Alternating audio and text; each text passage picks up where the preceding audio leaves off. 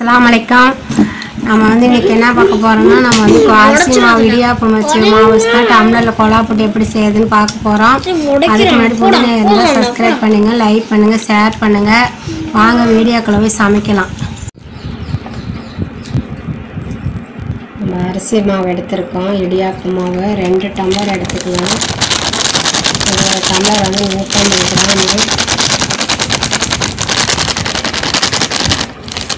வந்து நம்ம முந்நூறு கிராம் எடுத்துருக்குற மாவு இது நல்லா சளிச்சு எடுத்துக்கலாம்.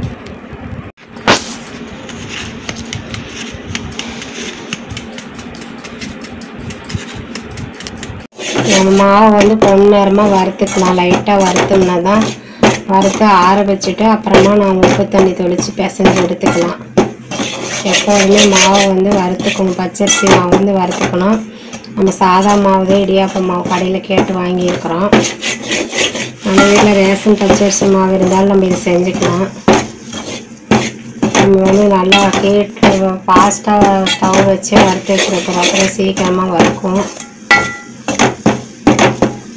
ஒரு மாவு நல்லா நமக்கு வாசம் வந்துருச்சு. நம்ம ஸ்டவ் ஆஃப் பண்ணிக்கலாம். நமக்கு மாவு வந்து நல்லா வறுத்து ஆற வச்சுட்டோம். கொஞ்சம் உப்பு சேர்த்துக்கலாம். அதுக்காக நம்ம கொஞ்சம் கொஞ்சமாக தண்ணி தெளித்து தெளித்து கணிஞ்சிக்கலாம் நல்லா நமக்கு பூ மாதிரி நல்லா வேகிற அளவுக்கு தண்ணி தெளித்து நல்லா பிசைஞ்சுக்கணும். நம்ம வேக்க கொஞ்சம் ரெண்டு சின்ன டம்ளரில் ஒரு ரெண்டு டம்ளர் வச்சு வேவிக்கலாம். சும்மா தட்டிலே கொட்டி வேவிக்கலாம்.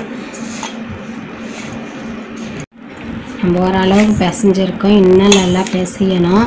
நம்ம வந்து சோம்பு வறுத்து வச்சுருக்குறோம். அதை கொஞ்சம் எடுத்து சர்க்கரை வெள்ளை சர்க்கரையை சேர்த்து நம்ம பவுட்ரு பண்ணியிருக்கோம்.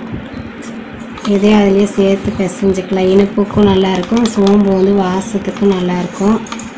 ரெண்டு நம்ம சேர்த்துக்கிட்டோம். வந்து தண்ணி காஞ்சிக்கிச்சு. நம்ம உள்ள தட்டு வச்சுக்கலாம். ஒவ்வொரு டம்ளர்லேயும் நம்ம மாவும் தேங்காய் வச்சு வச்சு வச்சுருக்கோம். எல்லா டம்ளரும் இதே மாதிரி வச்சு ஒரு பத்து நிமிஷம் வேகட்டும். வெந்ததுக்கப்புறம் எடுத்து பார்த்துக்கலாம். இப்போ நம்ம இட்லி பானையில் வச்சு வேவிச்சுக்கிட்டோம். நாலு டம்ளர்லேயும் கொஞ்சம் இருந்து ஒரு கப்லேயே வச்சு வேவிச்சிருக்கோம். நல்லாவே வெந்திருக்கு. நம்ம வேணும்னா வந்து குத்தி பார்த்துக்கலாம்.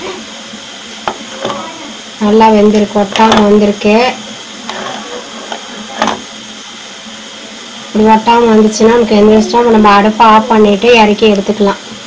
இப்போ நம்ம வெந்ததை வந்து நம்ம சுற்றி இந்த மாதிரி பண்ணிவிட்டு டம்ளர் அப்படியே கமுத்திக்கலாம்.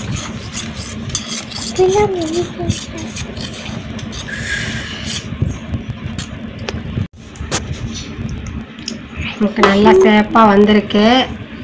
நம்ம இதுலேயே சர்க்கரை வே தேங்காய் எல்லாம் உள்ளாரையும் வச்சு நம்ம வேவிச்சிருக்கிறோம்.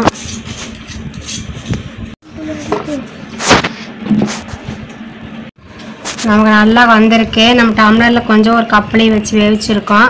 திருப்பி இருக்கிறதெல்லாம் இதே மாதிரி நம்ம தட்டி எடுத்துக்கலாம். நீங்களும் ஒரு மாதிரி செஞ்சு பார்த்துட்டு கமெண்ட் பாக்ஸில் கமெண்ட் கொடுங்க. ஷேர் பண்ணுங்கள் லைக் பண்ணுங்கள் எல்லாருக்கும் ஆசாரியோட அஸ்லாம் வலைக்கம்